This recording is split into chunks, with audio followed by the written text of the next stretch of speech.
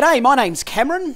I'm a brass instrument teacher. I teach trombone and trumpet mainly, although I'm just going to admit now for anyone who's watching, I'm not a professional.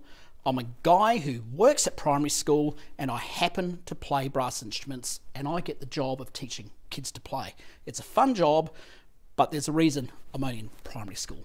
Okay, just get that. So I'm not a professional, but I do have a lot of experience playing the last post. I've done a lot of gigs for RSL sub branches all over uh, Victoria and South Australia and Western Australia, as I remember. And I can do that okay. Now, I've been asked just to go and pass along a few tips about playing the last post and just to go and um, help get the mind in the right place. The last post isn't that hard. There are tricky bits, but there are tricks that you can use to get around those. So, I'm just going to go and show you the first thing. One of the number one concerns that people have is that there's a lot of work. You've got to use your fingers a lot. The, if you play a brass instrument, that isn't the case. Let me show you why. This is a bugle. Now, whenever you go to the RSL, you know, go to an RSL service and somebody plays the last post, the bloke, or the blokeess for that matter, playing it will always be called the bugler, even though they're playing a trumpet normally. Um, sometimes they will have a bugle, but if you have a look at the bugle, the thing is, it's got no valves, no buttons to press. It's a really basic, not complicated at all instrument. It's just a piece of tubing all wrapped up with a noisy bit at the end and a mouthpiece there. Um, the thing about having an instrument like that, you don't have to worry about what your fingers do. You've only got, I don't know, five or six notes or something, I've never really counted, to play. But here you go. Here are all the notes you play in a bugle.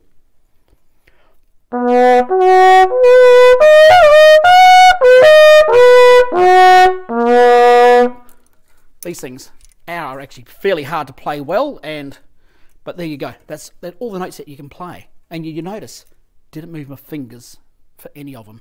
May have moved my eyebrows, not a good habit to get into, didn't move my fingers. So what that means is that when you go and get onto your trumpet, for instance, you can play it one-handed. No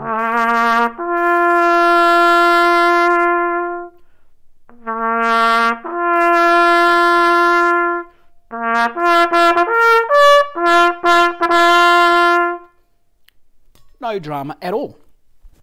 Of course, on a trombone, what that means, you don't have to move your slide at all. Now, I'm just going to say, not professional, not actually a trombone player. Um, I teach trombone, so I know well enough to get, I would pass primary school, but not much further. But anyway, here is how um, trombone would start to work. Watch this. Don't need the slide.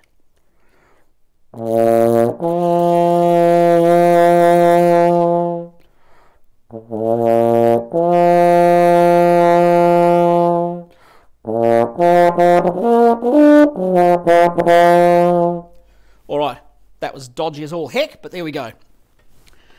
Now, a couple of tricks.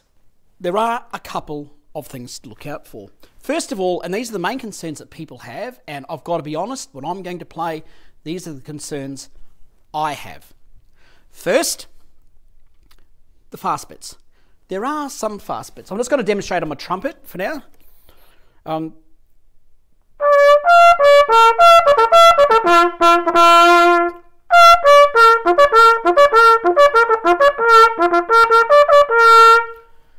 Here's the thing.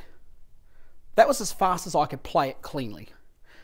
The last post you're normally playing by yourself, which means that you can play around with the speed as much as you like. It's not a race. There's no prize for getting to the end quickly. So the fast bits, slow them down.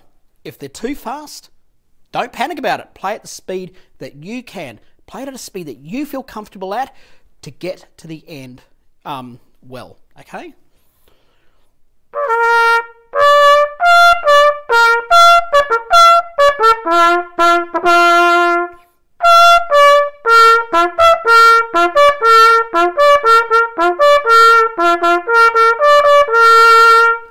Believe me, nobody ever complained that the last post was played too slow. People love to hear it, and at six o'clock in the morning on Anzac Day, hopefully your neighbours will. Um, the ones who don't like it, they weren't going to like it anyway. The ones who do like it are just pleased to hear it being played. They don't care what speed the twiddly bits go at. Don't panic about that. The only bit, and this is the bit that really um, gets in my head, is the high notes. When you play the last post outside at six o'clock in the morning, you're starting to get to the, you know, right towards the middle of autumn. It's cold. You get your instrument up, get your mouthpiece on your chops. That is cold. And when your lips get cold, they start seizing up. They don't do what they want, especially in the high notes. And you want to hit them well. Um, can't help too much about that. Of course, practice helps with those. Playing high notes, practicing them all, making sure you've got a good teacher who can show you what you're doing wrong. Um, because playing high notes, there is a problem that you can damage your lips if you do it badly, okay? And we don't want that. Um, but there is a trick you can. We can actually make the whole tune lower. Not a trombone, I'm going to show you how to do this. Ordinarily, start on a B flat. But let's say we go and put the slide out a bit. Let's say down to, um, I don't know, fourth position. Get out there and we're starting on, what would that be? That'd be a, a, a G.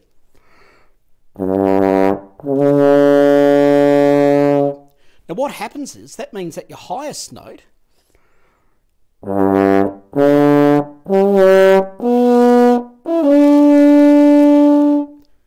isn't that high. Uh,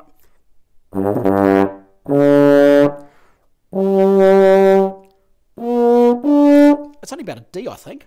Okay, so I've got to sit down and think about that. It's all gone out of my head. But there we go. You're not having to go all the way up to an F. You're going all the way up to a D, which you might find a lot easier. So it would go like this.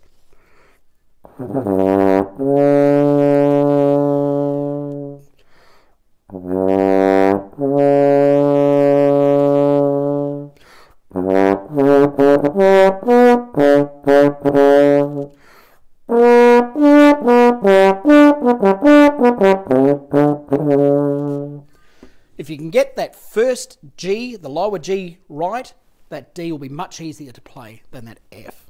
All right, I'm just going to go and reset the camera now, and, I'm, and I'll demonstrate the whole last post for you, as well as another short thing that comes after you've played the last post.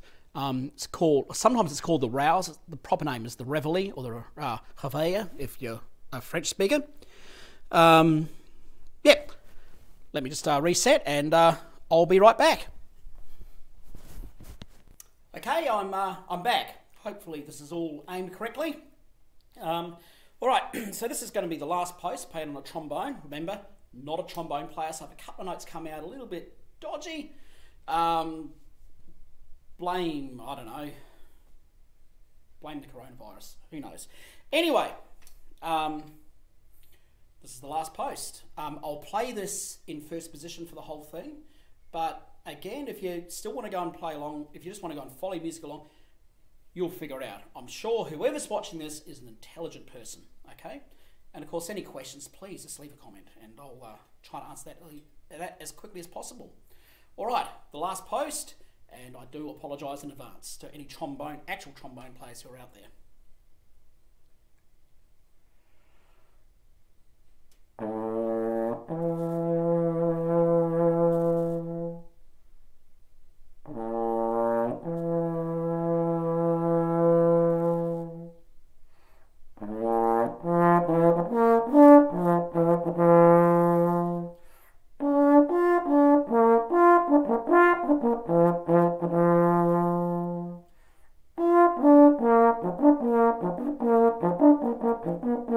Thank you.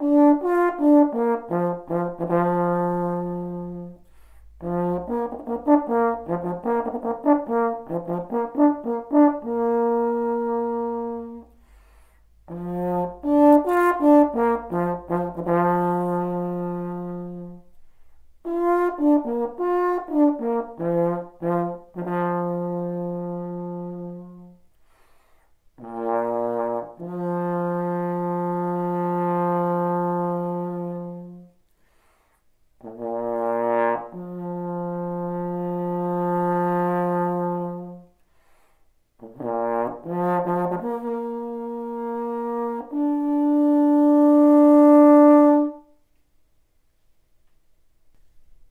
now, after a brief pause, you play the reveille.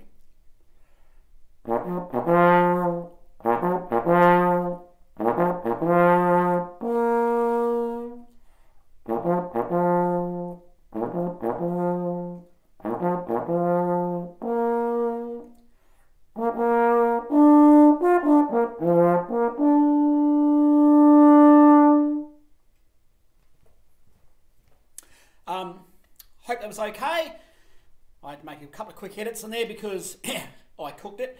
Um, that's all right. Everybody does. As I said, don't panic about mistakes. Don't panic about getting it wrong. The neighbours who um, you care about, they're going to love it no matter how it goes. Um, the neighbours who don't love it, they were never going to anyway. All right? So just get out there, play confidently, and if you play confidently, no one will ever notice your mistakes. That's my mantra, and when I'm playing the last post, that's what I live by.